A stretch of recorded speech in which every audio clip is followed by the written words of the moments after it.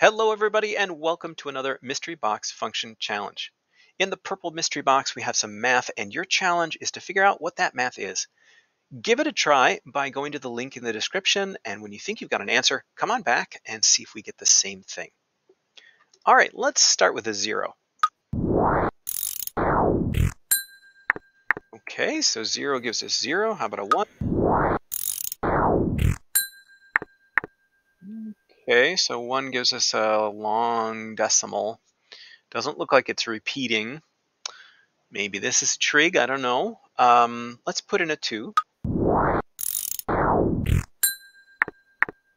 Okay, and that's way up there. Let's put in a three. Okay, it goes down and up and down, so it does look like it might be trig. It's a little hard to see what this is, though. I, am going to try to um, make some approximations of, of, of some trig values. So let's put in pi, or an approximation of pi, so 3.14. And that's pretty much zero. Okay, so we're zero at zero, and we're zero at pi. That, uh, that makes me think sine, but something else is going on here. Let's try pi over 2. So um, close to it is 1.5. Oh, and that is off the graph. Hmm, okay. So I think, oh, and that's a, is that a negative? It's hard to see uh, that number because it's so small, but I think that's a negative 14. Interesting. So let's let's think about the trig functions for a moment. So remember, we're, we're putting in an angle and then the endpoint is going to be our, the x and y coordinates are going to be our cosine and our sine. So at zero, the y is zero, so sine is zero. And at pi, which is over on the other side of the circle, the y coordinate is zero again. And we saw that here. So that's why I thought sine originally. At pi over 2, the sine should be 1. And we are not seeing that. We're seeing it go to, I, well, I think this is going to shoot down to negative infinity. That's that's my hunch about this. Because I don't think this is the cos or the sine. I think this is maybe the tangent.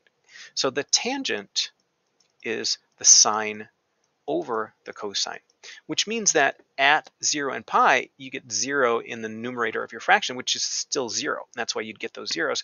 But at pi over 2, what would happen? Well, here the, the cosine is 1, but the sine is, is, sorry, the cosine is 0, but the sine is 1. So you would have 1 over 0, and that would be undefined. You can't have that. And that's where we see it shooting. Well, with the tangent, usually you see it shooting up to infinity there. That's a positive value. We're getting a negative.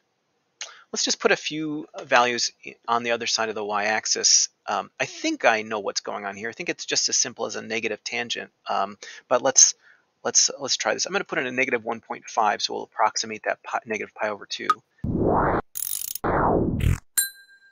Yeah, and there you get the positive infinity. So negative pi over 2 would be down here, and that's where um, the sine would be negative 1 and the cosine would be 0.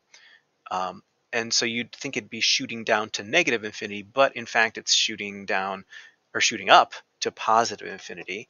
And then if we go back to back to pi uh, uh here, so negative, let's do negative pi, 3.14.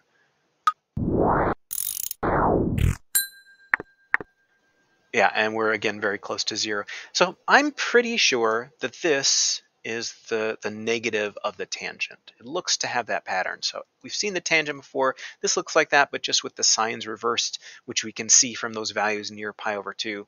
So f of x equals a negative tangent of x. That's what I think. I'm going with that. Let's reveal. Yeah, there it is. So f of x equals the negative tangent of x. And let's graph that. It should be interesting. Yeah, so there are those those interesting curves that shoot up to infinity and down to negative infinity in that repeated way. Um, but they're they're in the different direction, right? So normally the tangent looks like like this. Whoops, need the pen to do that. So it would just be sort of reversed, a mirror image of that, and that repeating. So how did that go for you? I think that was a toughie. Unless you're really used to graphing a lot of trig functions, I think that one could be pretty confusing. Let me know how it went for you. Thanks, everybody.